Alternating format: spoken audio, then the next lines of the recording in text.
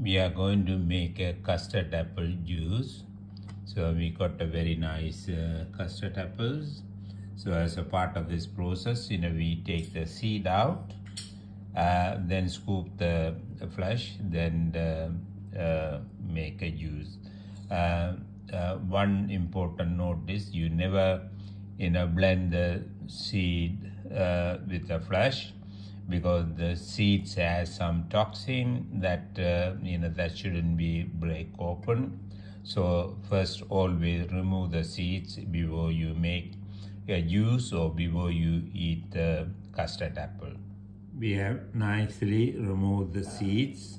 Only the flesh there is absolutely important remove the seeds. Hello. we have now made the custard apple juice. You can see how you know very white uh, and very, they are very, as I can show you, you know, they are very thick and uh, very nice and uh, good for uh, lots of lots of antioxidants and a uh, lot of nutrients.